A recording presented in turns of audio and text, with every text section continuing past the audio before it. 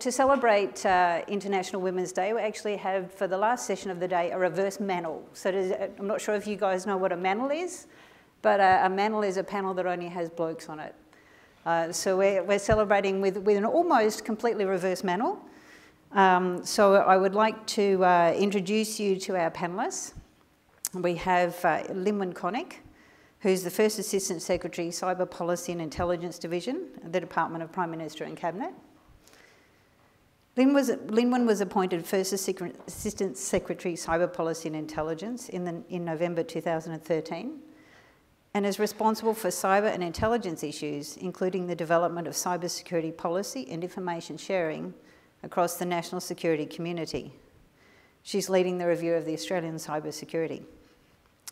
We also have Helen Owens, who's Principal Advisor for Public Data Policy at PM&C.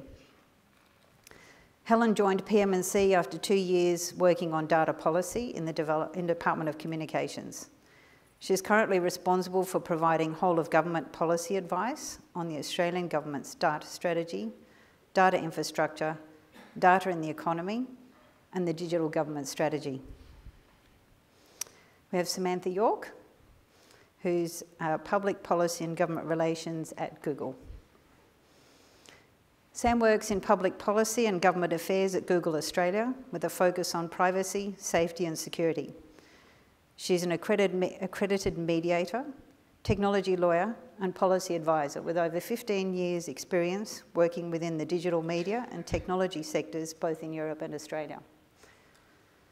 And now the token bloke. I bet that's never happened to you before, Nick. Enjoy. Business Manager Information Protection, Symantec Australia and New Zealand. Nick works with organisations to develop information security strategies and solve complex business problems to make security a business enabler rather than an inhibitor. Specialising in and focusing on identity and information protection, he has in-depth knowledge of strong authentication, identity management, encryption, data loss prevention and mobility. Thank you all for coming along. I just wanted to start off by making just a, a, very small number of comments on the, the RSA conference last week. As you can imagine, with the events going on between Apple and the FBI, there was a lot of discussion about privacy and security. Um, and I'm not going to go into all the, the topics here because that's kind of a very specific part of it. But there were some interesting comments. There were some of the memorable quotes of the week were from Bruce Schneier, who's, um, for those of you in the security field, know that Bruce, Bruce is a, highly regarded blogger, but also very good at uh, security. And he said, We're building an internet that thinks, senses, and acts, and that senses are moving us past notice and consent. And during the week, I was starting to think about what sort of term can you think about? Because we have the data collection that people willingly give, that people are very conscious of, where they fill in forms or register for a service. But there's also the data collection that is increasingly becoming involuntary. And I heard someone use the phrase ambient data collection. So that's the sort of stuff that when you're browsing online or, or when we move into the IoT, everything will be collecting information about us. The location data on the phone, even the things our cars will become endpoints. What sort of data will they collect about us? Um, and it leads us to the question then of can people really truly give informed consent? How do they actually understand what they're giving up? So hopefully we'll get to addressing that kind of question today on the panel. Um, but there's certainly things that the industry sector is really grappling with at the moment, and people are really trying to sort this out. So without further ado, let's um, head to our panel. I would like to start by asking each panellist to briefly explain their role as it relates to the topic, which is, is our privacy and security and innovation mutually exclusive? Nick? Oh, yes, and I need to remind you to use the mics because it is being recorded. Thank you. Uh, I guess uh, for myself, I, I look after Symantec's information protection practice, and I spend a lot of time dealing with concepts around encryption and data privacy and connected devices. So actually, this topic is quite um, it's, it's, quite uh, relevant to my professional but also personal interests. Uh, And I've been involved in this field for, for quite some time. Uh, but before I go on, I just want to say the attendance is really good for the last session of the day. So either this topic is extremely interesting or the drinks are going to be amazing. Um, yeah, so this, this, um, this area I think is something that there is a lot of activity in, but there, isn't, there hasn't been much change in the way that people are approaching the problem. And I think that we're at an opportunity now where the, we can address these issues um, through, uh, through a number of mechanisms, and I'm sure they'll come throughout, throughout the discussion uh, this afternoon. And I'd really like um, some of the questions to come from the audience, particularly. I mean, we had a discussion around uh, throughout the day around these issues, and I think I must have heard, I don't know, seven different definitions of privacy today. Um, and it means something different to everybody. Uh, and I think that's an important thing that we all must consider.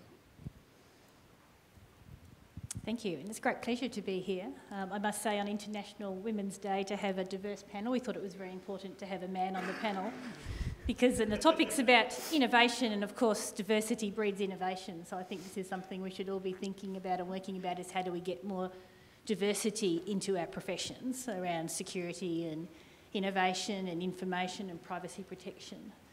Um, my role working in the Department of Prime Minister and Cabinet, as Jody said, is looking after cyber policy and intelligence. I advise the Prime Minister on those issues, but also I think very relevant to today's discussion is the fact that we've been doing a review of Australia's cyber security um, and we've been going around Australia and internationally talking to hundreds of people. We've talked to over 200 different organisations getting great ideas about what we need to do to improve Australia's cyber security.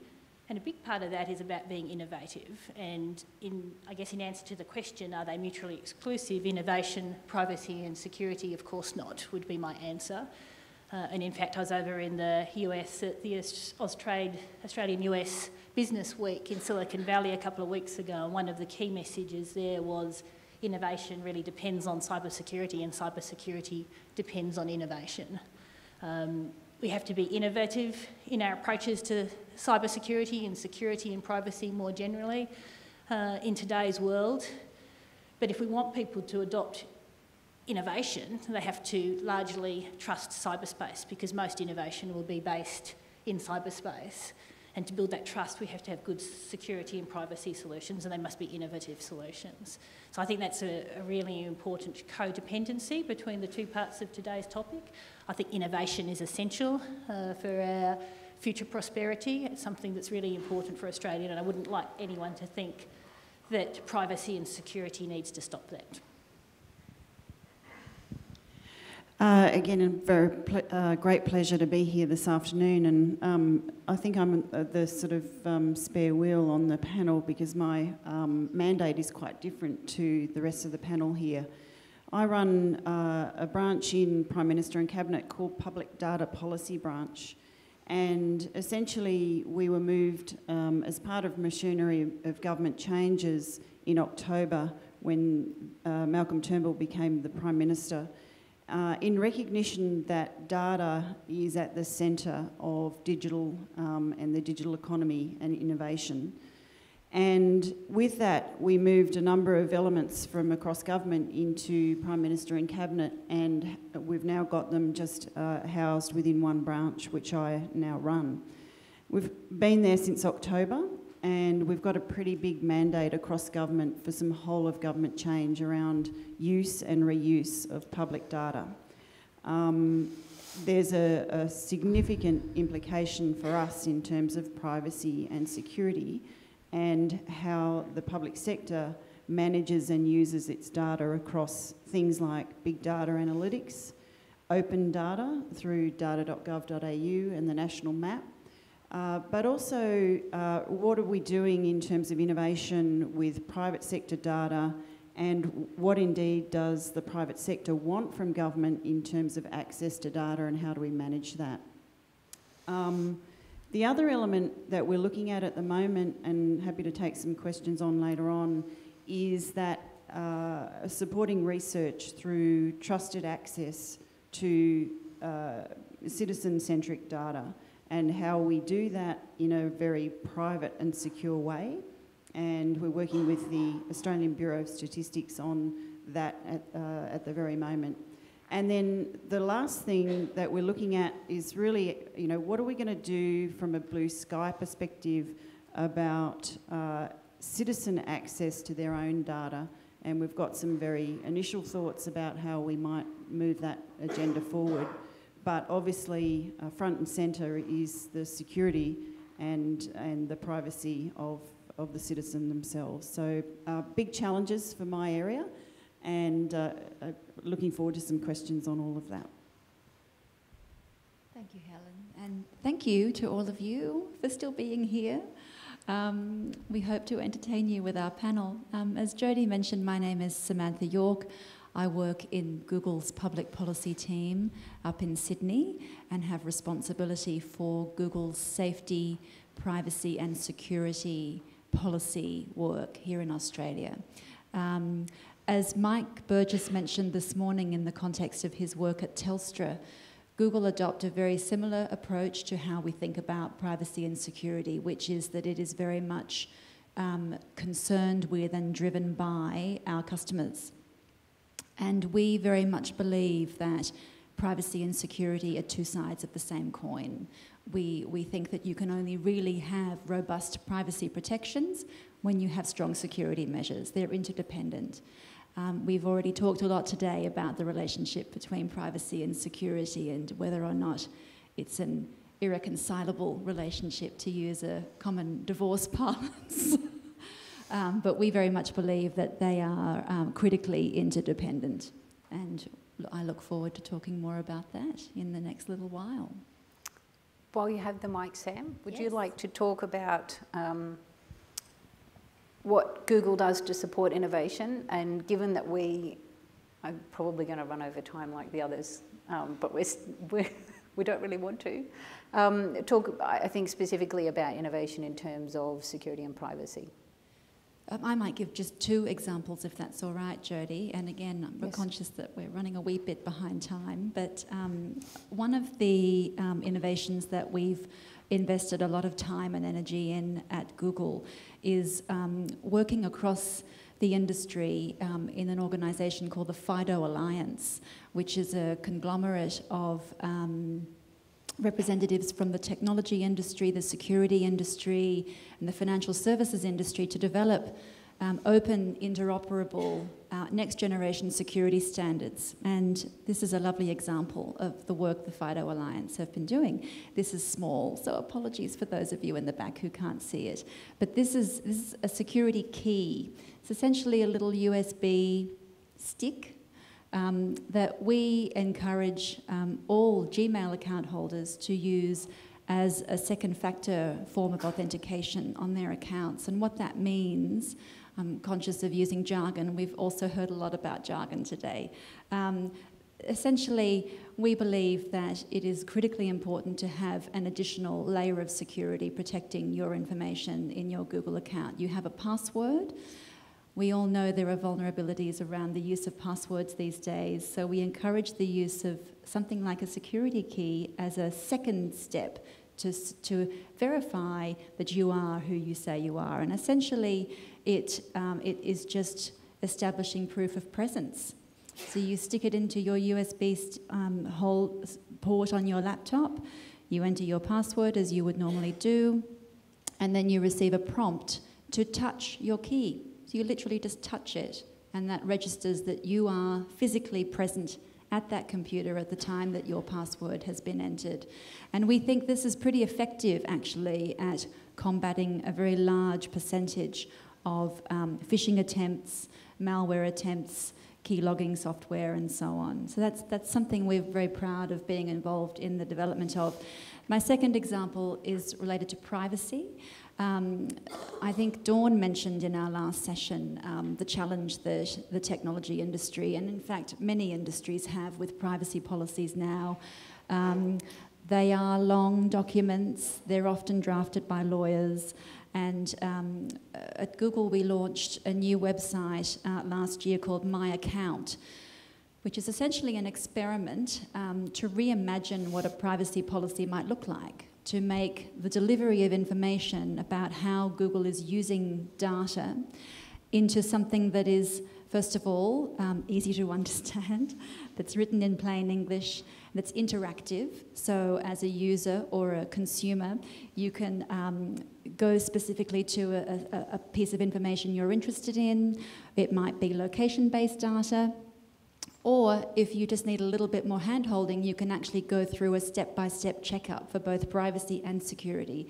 And this is really essentially revisiting um, any choices you've made in the past about how your data is being used by Google and what data you have given to Google in the past. It allows you to update that data, change it, um, change your mind about how you want your data to be used, and exercise some control there. So this was really an, an, what we think is an, an innovative experiment to bring all of those privacy and security settings in one place that is easy to understand and that gives information and control over to, um, to Google users in one place that um, is accessible to them.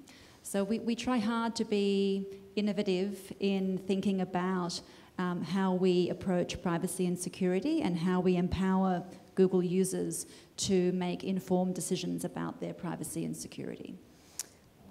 So I think that, you know, it, sounds like what you're saying is that that then enables the user to determine what level of privacy they want.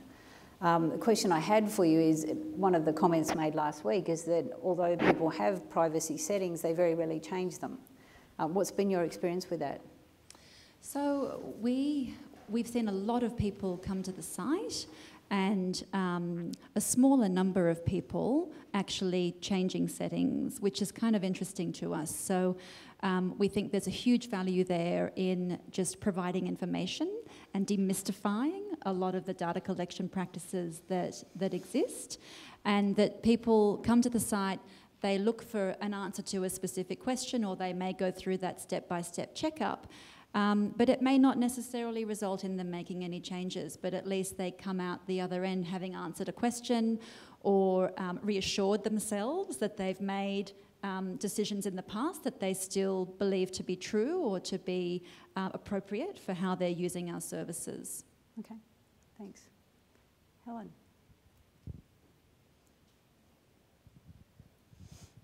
One very exciting thing for us is, as I talked about our cybersecurity review, and we plan to release a strategy soon, a new Australian cybersecurity strategy, but the government's already invested in one of our initiatives, which is a cybersecurity growth centre.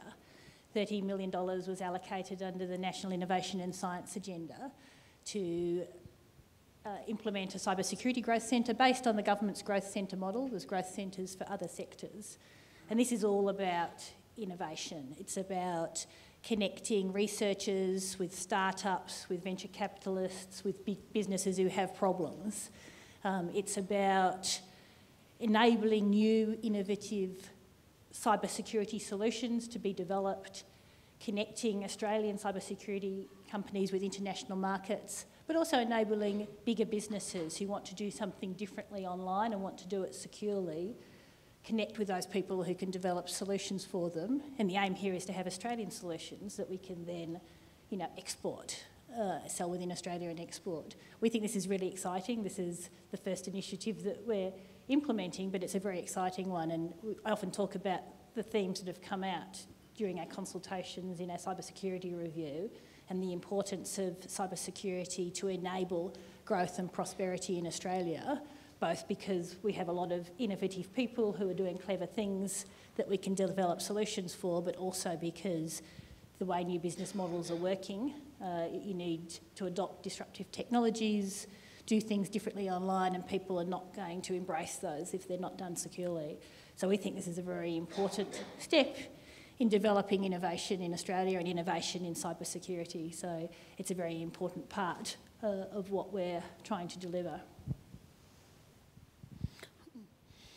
That's, um, it brings up an interesting thing, and I don't want to get too far away from the main topic, but it brings me to a, uh, some of my thoughts around why we have issues in uh, fostering innovation within startups in Australia. And I think one of the problems we have is uh, it, it's similar to the information sharing problem we have in organisations, and that is procurement policies really are unfriendly towards startups within Australia.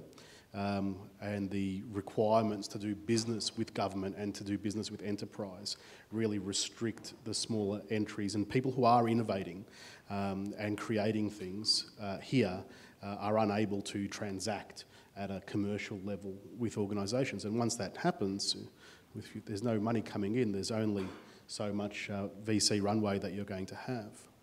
Um, I guess in terms of compatibility with privacy and security, I, I, just want to go back to the idea that they are related issues. Um, I think there's a, often a problem that people, when it comes to associating technology to those two things, they often mistake encryption as making privacy and security the same thing, and they're not. Encryption is a tool. It's not something that gives you privacy. It's not something that gives you security. It is a tool that is used in those systems. Uh, and definitely to go back uh, to what you were saying, in that good privacy and good security drive innovation in two ways. One, I think that there is uh, a great opportunity for innovation in the security and privacy tools that need to be developed for the next generation of technologies. When we talk a lot about IoT, the ubiquitous uh, connectivity and ubiquitous monitoring and data collection, and it requires a new set of tools, a new set of privacy controls and security controls, and new analytics to look for the uh, anomalous behaviour within those systems. Uh, so there is one side of innovation which is focused at delivering security and privacy enhancing technologies.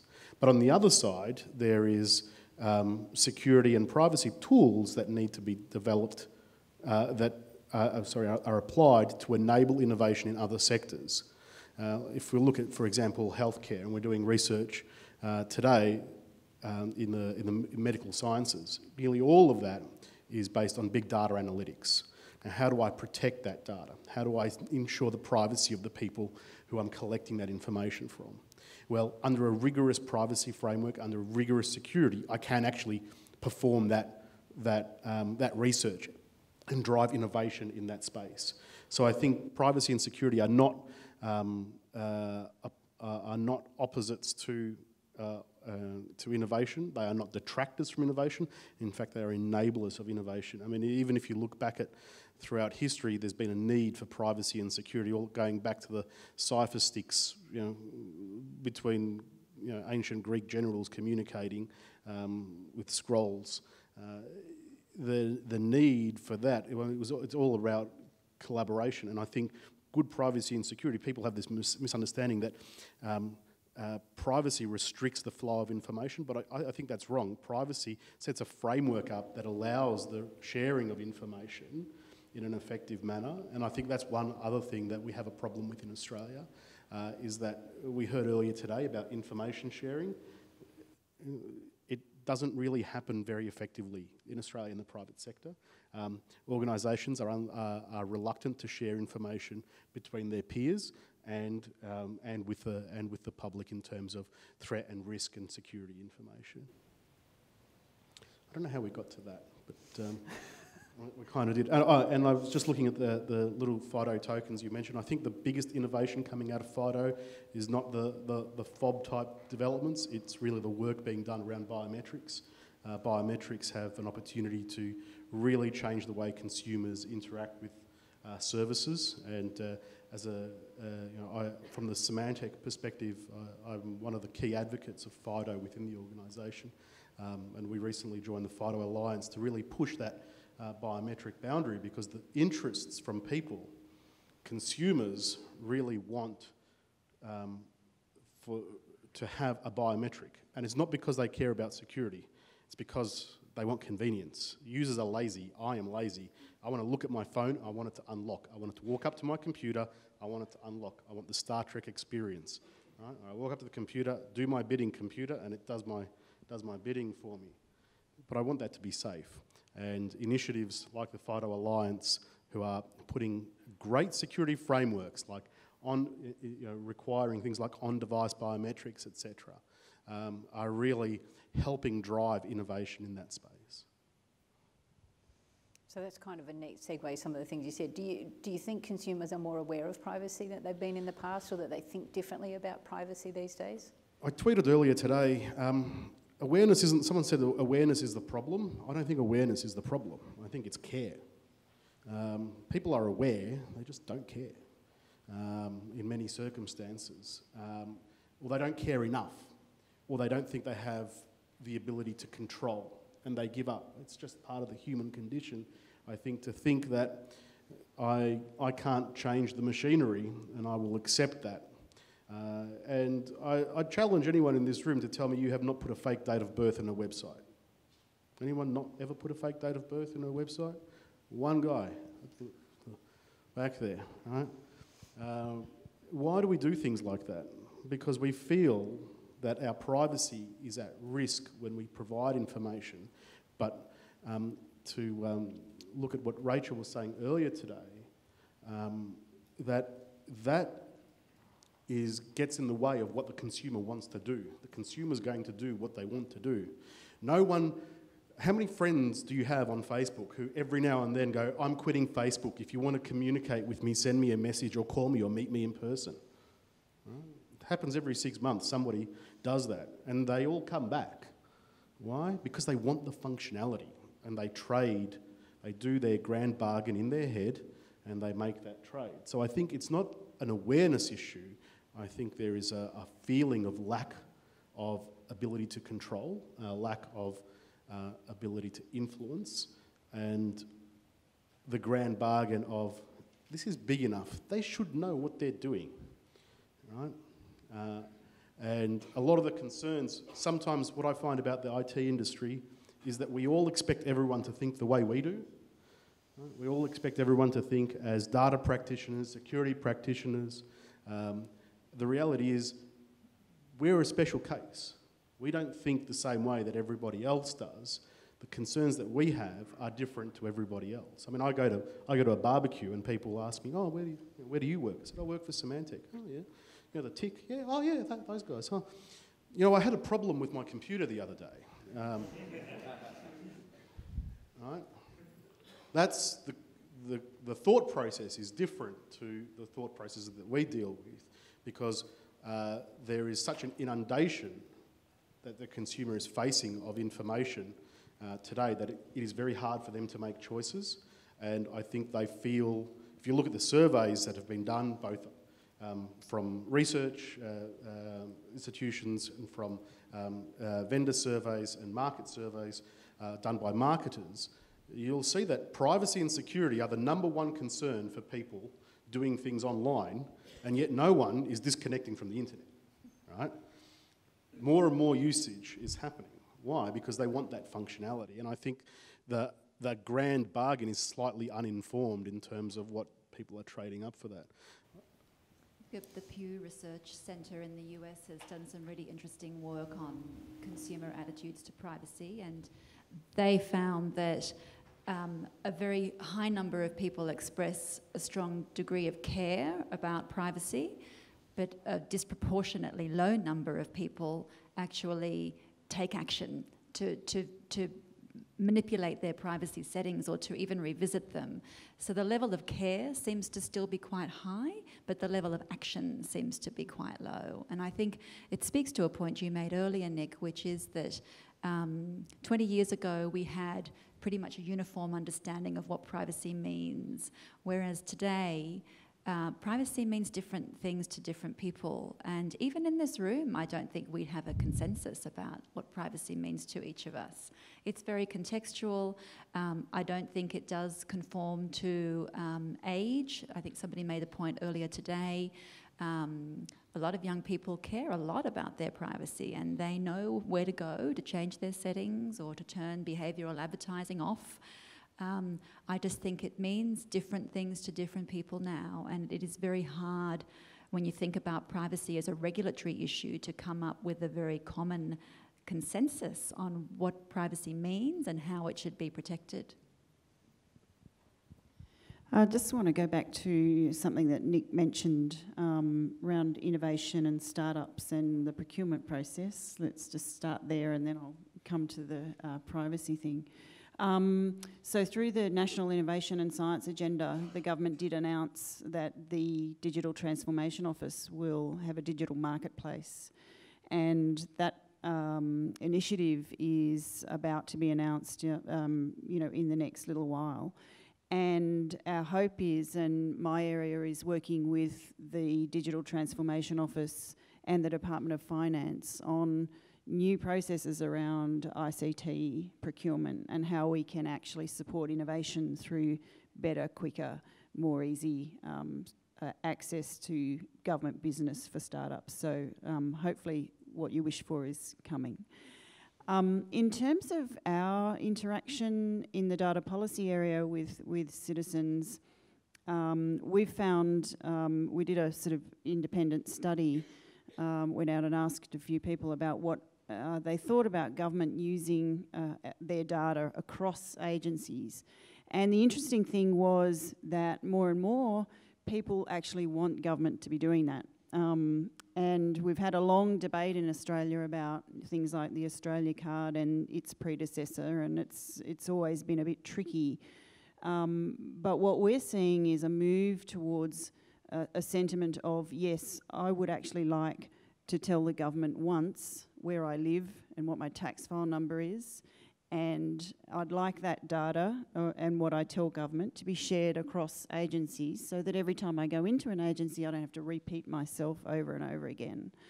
Um, and so, what we're seeing is a bit of a turnaround in terms of uh, integrating data within government. One of the interesting things was late last year we released a, a report uh, into public sector data management and within that report, there's some um, details about the fact that right now we are developing a longitudinal data set um, at the unit record level across uh, social security, tax, um, and uh, a range of other um, agencies. And initially, when we published that report, we thought that there would be a, a hue and outcry about privacy and how dare you use my data in that way. Um, but essentially, we've heard crickets about that. So I, I, think there is a changing sentiment in terms of government using data internally, and um, and because of the way that technology is going, we need to be um, you know supporting the citizen in getting, giving access to their data as well. So. Um, just, just one point on this. I think you know there's a few different issues here. I think you know my experience is that most people are aware of privacy risks, particularly when they're doing things online, but they're not always aware of the cyber security risks, how their information is protected, what they do, what measures they put in place might impact their privacy. So that's one thing we've heard from a lot of people is that awareness is not there. People don't understand what they need to do. It's not just about privacy settings on your social media application. There's a whole lot of other things that can risk your privacy, and people don't always understand that. Um, and I think also there's, as well as the awareness, people, I know from my own point of view, want uh, the new services that are provided uh, when we share our data. You know, I think it's wonderful when I wake up in the morning that the app on my phone tells me it's a 10 minute drive to work, the traffic's light, the weather's fine. I like the way that it knows where I work. Um, I'm looking forward to the day when the app on my phone, as I walk past the dress shop, will tell me the dress I tried on last week is now half price. uh, I want those sorts of services, and I think a lot of people like that, and we're willing to sacrifice some privacy, but we also want to be able to control that privacy. We don't want everyone to know that we bought the dress at half price. So, you know, it's about balance and how we educate people and what sort of provisions we can put in place. I, I sort of wonder whether um, people would feel so comfortable about um, trusting people with their data if they heard some of the things I heard during the week from companies who completely fessed up to the fact that the security industry is not really pulling its weight in terms of how it develops its code and its applications and the architectures they use. Um, there was even a, a, startup that confessed on a panel that even their first version of their product didn't use HTTPS. Um, I heard a, a, a, uh, software tool vendor say that it's really actually too hard for industry when they're innovating to develop secure code. It takes them longer, which was a surprising view from a software vendor. So my question is, you know, who is, who is actually responsible for ensuring that the security and privacy that we talk about and the ability to put those mechanisms in place so people can have trust in, in the digital economy, whose responsibility is that? Uh, I, I think the responsibility lies with all of the participants in the market. I don't think you can uh, uh, pinpoint an individual or a regulator or a, a single organisation or body that is responsible uh, because I think that will lead to failure. That is the way the old world used to work. It's not the way the new world works. Um, and you know, we were. I was in the Stream B earlier today, listening about um, listening to ubiquitous connectivity and IoT uh, um, devices and whatnot. And you know, these are really big areas that are changing the way that we think. Uh, if we look at the, the question that you're posing is who's responsible? Well, I think that the market will try and solve some of this itself. Um, and I'm going to draw a fairly long bow analogy. Uh, it may make more sense after you've had a couple of beers at the drinks. Um, and just look at the way banks market themselves. When was the last time you saw an ad for a bank showing someone in a queue waiting to talk to a teller? Never. Right? They're like wild horses or kids, you know, playing soccer or someone on a yacht. It's all about empowering your world and being there for you. No one cares about that, really. Right? They want to do their banking and they want a loan and they want to be able to have quick, easy money to their access to their money and they want to know that their banks aren't going to go broke. Um, the marketing is not to, really around the core banking functions. Uh, and I think we're going to see that sort of translation ha- happen in the consumer space uh, around security. When we talk about connected devices, connected platforms, about people offering a higher level of security in their platforms. I mean, it was even suggested that the whole thing with Apple and the FBI is a marketing activity to drive um, to drive business for people to go and buy iPhones, right? Now, um, I think we're going to see a lot more increase in that, and that'll be the market self. Uh, it'll be the market itself that's dealing with that. The problem is, is who do I trust? Um, and how much do I believe the marketing? And how do I verify? You know, the whole principle of trust but verify. Um, how do I know these guys are doing the right thing? People want to believe that every the, you know, company's big enough, it's doing the right thing. But we've seen time and time again, big data breaches. People are getting popped. There's you know, writing good software is hard. Uh, understanding all the threat vectors is hard. And then you have um, the wetware, which will always let you down, right? Um, and uh, enable the, the bad guys to pop an environment. Uh, on the other side is the consumer wants to make sure they're buying something that is safe and secure or has at least the same sort of security. They go, I go, I go to Target and I buy a toaster, and I plug it in, it doesn't switch all the lights off in my house and you know, burn it down. They want the same sort of security when they buy a toy for their kid that takes photos. They want to know that they're going to, they're going to uh, plug in their toy bear, it's going to take photos, and they're, they're not going to end up in the hands of uh, some Eastern European hackers. Um, now, uh, I think, the mar- like I said, the market, I think, will try to regulate some of that itself, um, but I think there, there is a role for. Um, I'm a bit reluctant to say legislation because the legislation really lags. It takes forever to catch up. I mean, things change things are changing on a weekly to monthly basis in terms of the way things are being developed.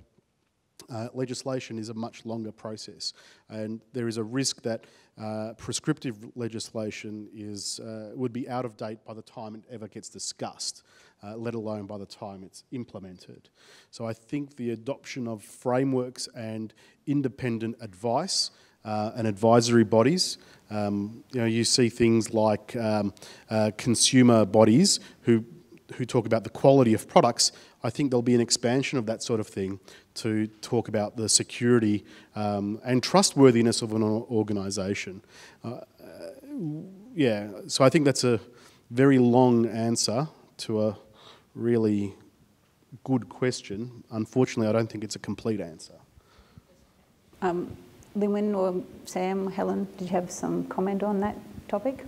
Um, I, I, agree. I think it's um, it's everyone's responsibility. It's a joint responsibility um, to protect privacy. I'm sure, as many of you know, governments introducing mandatory data breach reporting that's been out for consultation. I think the responses were due back last week. Um, there are challenges in making things mandatory when it comes to this sort of reporting, and so it's very good to get everyone's views on that and how do you implement you know, regulations, but more broadly, I think we all have responsibility for our own privacy. We choose, you know, what applications we use. We all need to be aware um, and knowledgeable in the choices we make to protect our own privacy. We can't assume that government will do it for us or necessarily that all of the services we use will do it for us. We all have to be responsible in this.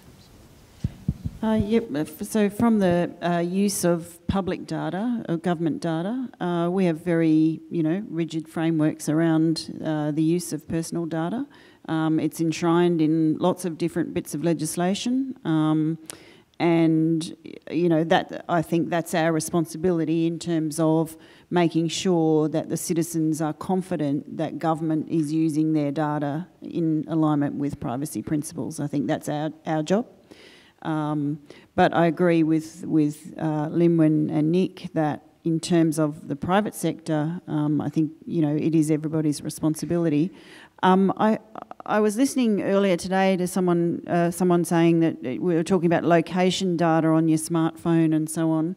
Um, you know, I think that um, there's opportunity. You can turn off location services on any mobile app that you've got. So right there, you've got a choice whether you want to be followed around or whether you want to have what Lynwen's services are about telling her where she's going and how long it's going to take to get there. You can actually choose to switch that off, and most people know that.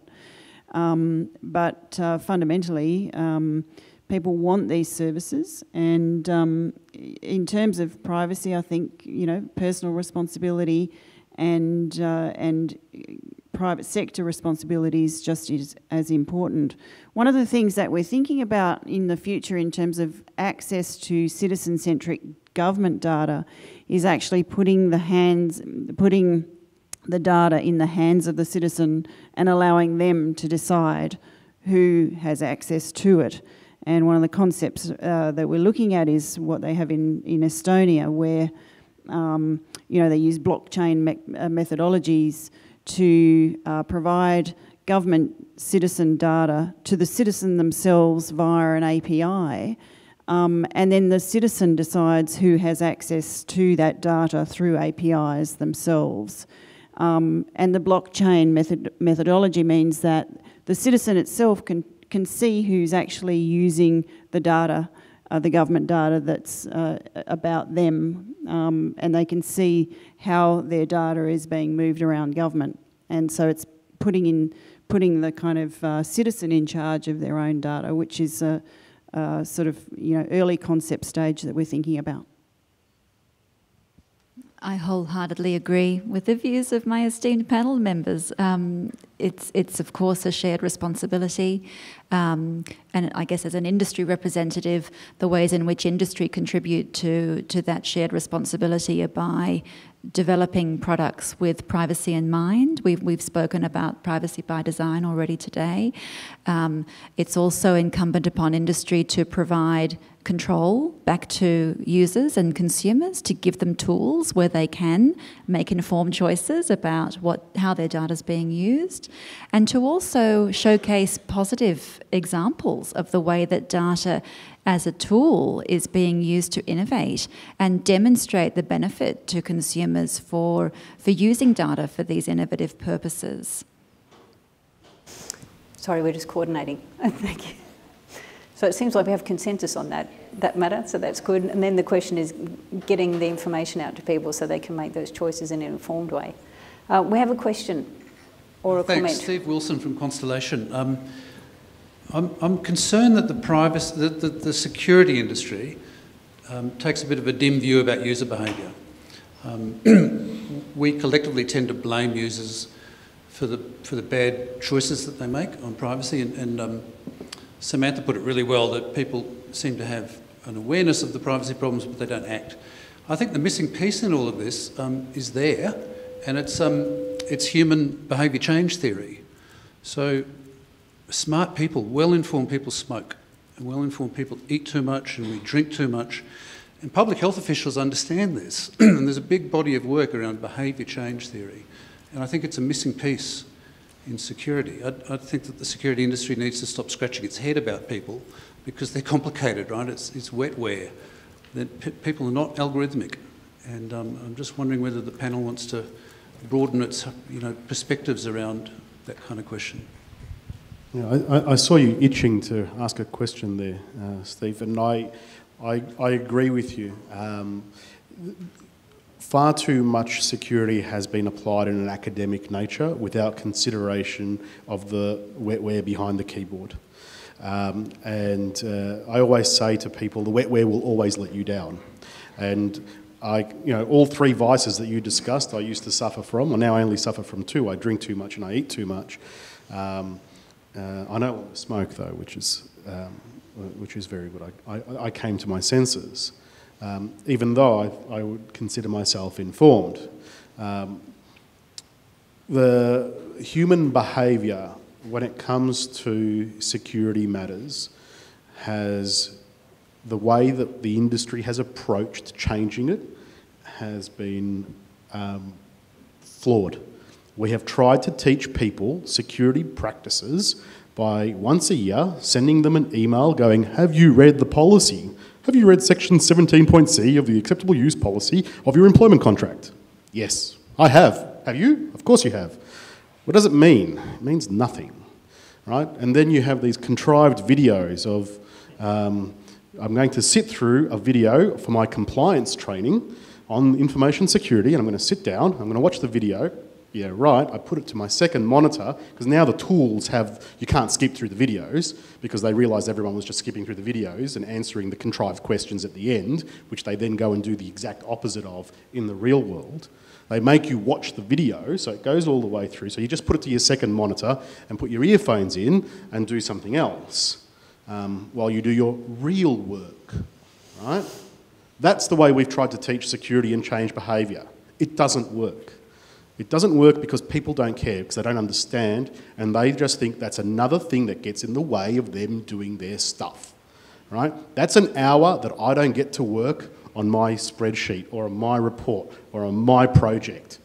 Um, so there has been a, a, shift, and it's something that um, I've been personally involved in um, from, a, from a technology perspective to try and change that. And we've seen um, We've seen how this has worked in the health industry. Why is Fitbit successful? Why are all these health trackers successful?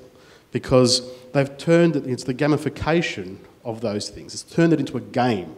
And people are trying to encourage human behaviour. It's that reward. I got a star. How awesome is that? I'm teaching my son how to toilet. I'm uh, toilet training my son. And it's exactly the same principle. You went to the potty, here's a sticker, right? You went to the gym, here's a star in your app, right? Um, and I think the same approach, if we take that and apply it to security understandings and security learnings, I think we'll have a much better result than we have traditionally. Um, and uh, I've personally been involved with some of the efforts that we've been making at Symantec to try and change the way we do that. Because for many years, you know, it's a, it was a, that's the way you did it, right? I don't know how many, have, I'm sure everyone knows about the videos I'm talking about, the training videos, or the surveys, or the questionnaires. You've all done them, and do you remember any of them? Except for the really lame video, that's the only thing that you remember from it. Um, and we're all professional IT people here. Imagine what your average user um, who thinks that this is just an, uh, something that gets in their way what their recall of that information is. It's next to nothing. Um, and uh, I think that has to change. We can't keep blaming the users. Uh, the users are part of, they are part of the problem, but they're part of the solution, and we need to treat them as such with the respect that they deserve. Um, and it's far too easy to say the wetware is bad, it will always let you down. Let's cut off access to the wetware. It's not going to work. We need to acknowledge there is a problem and we have to try and fix that. I'd just like to second your view that the human factor is a very important component of cybersecurity, security more broadly, privacy. You know, drawing on my experience as a cybersecurity practitioner, we always found the most effective way to change people's behaviour was to demonstrate to them what could be done, not you know, roll out a rule book with a whole lot of mandatory practices or the, the surveys that people don't want to do. Um, it's, it's about demonstration. Interestingly, we're talking to some people this week about the importance of telling stories in you know, security education and I think there's a lot of work being done on this and it's a very important part of work to make sure that we recognise the importance of the human factor. I'd just say, Steve, you're right. A lot of this is user behaviour, and I don't think any of us intended to blame the user, but um, it takes time. It takes time to, to affect wide scale behavioural change. And in the meantime, we'll continue to remind people that these tools exist um, using opportunities like Safer Internet Day, Cybersecurity Awareness Week, um, and and also um, I think unfortunately this is kind of one of those lessons that a lot of people learn by. By a bad mistake, really. My mother in law recently was the victim of quite a sophisticated um, hack, and she's learnt now she needs to take security pretty seriously, and I think she will. But unfortunately, I think a lot of this is a theoretical risk for people. And until they're the victim, um, they don't necessarily appreciate how important it is to, to take precautions.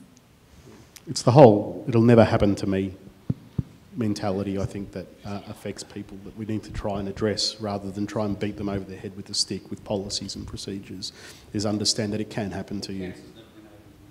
yeah. Yep. So um, we do have another question. I'll quickly say before then, if you ever get the chance to hear Craig Davies speak on this, there's um, CISO from Atlassian. He's, he's got some really good things to say on this, and, and I can talk to you later about some of the things that he does. Uh, we had another question. Yes. Uh, Mike Faulkner here from Verizon, and uh, I'd, I'd, really like to thank, uh, was it Steve, for, for the question. Um, some of the responses seem to go to um, uh, security from a global perspective, people who work in multinational corporations, etc. Um, my question is to the, to the rest of the population who perhaps don't have access to the mandatory um, security training that we're supposed to do, and specifically uh, for Lynwen.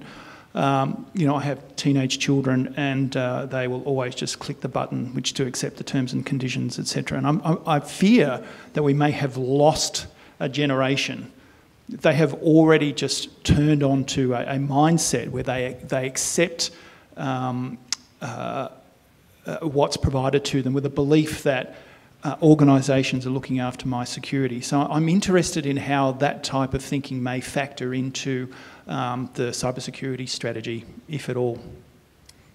One of the things we've been hearing from people is the need to raise awareness more broadly across the community. So it's not just about government or business, it's about you know, everyone at home, how do they do what they need to do to protect themselves online? So we think that's a very important thing to do.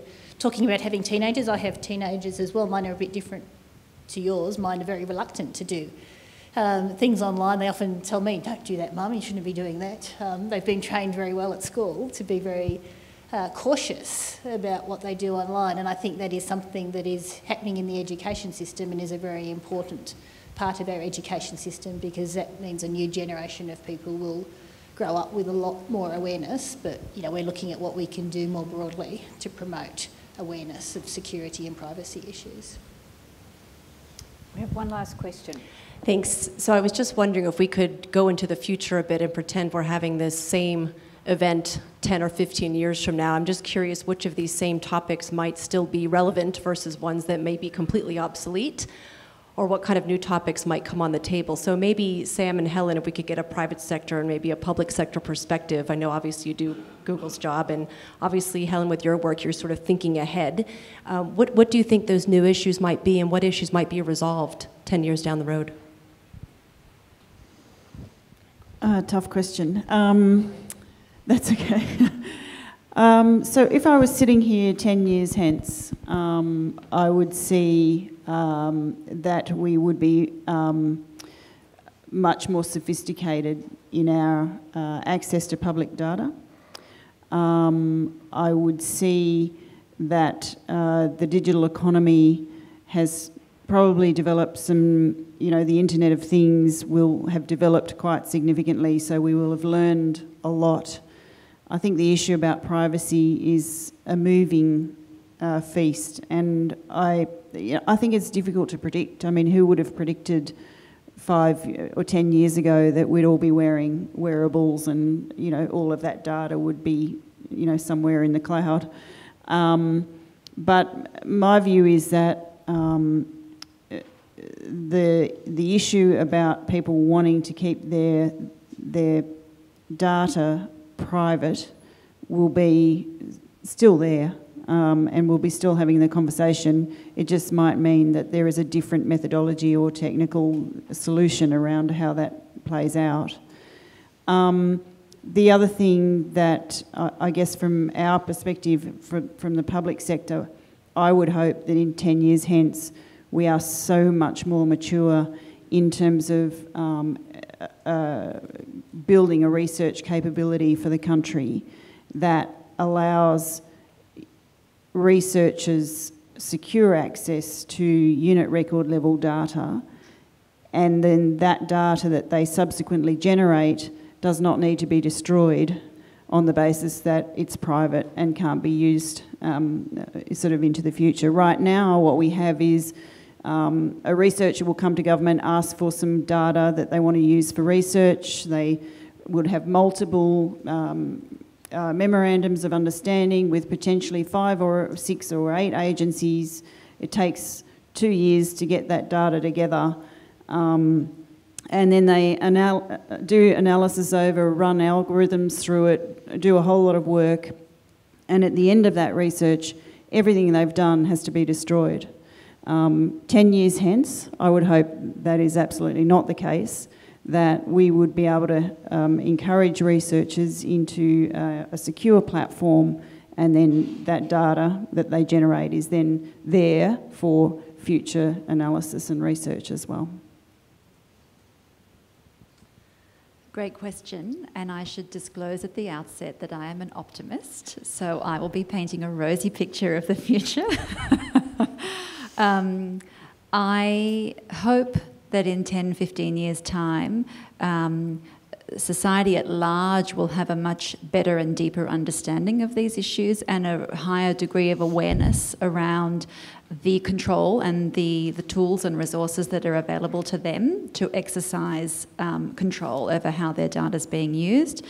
Um, we will hopefully have seen in that time um, some totally awe-inspiring examples of how data can be used for good and that that in turn will result in an increased level of trust in, in the private sector and government's use of data. And that, I guess, similarly, you know, of course, there will be incidents and breaches along the way as well, and that we will all continue to learn from those mistakes, and that will just form part of a much more mature approach to these issues. They will remain, there will always be concerns around security and privacy, but my hope is that the general level of understanding is a lot higher than we see today, and that these conversations aren't just had once a year amongst a couple of hundred of us who are pretty savvy about these issues, but that it will be a much more common public conversation and dialogue. And can I add the academic voice to this? That uh, there's already research going on as we speak, and I also confess to being an optimist. I couldn't do my job if I wasn't um, that there is already research going on that would enable researchers to use things like synthetic data, so data sets that are generated with the same statistical um, characteristics of a data set you want to use, um, and other ways to preserve the privacy of the data while still doing analysis on it. Um, so I'm optimistic that they will actually be quite mature and, and uh, doing a very good job for us by then.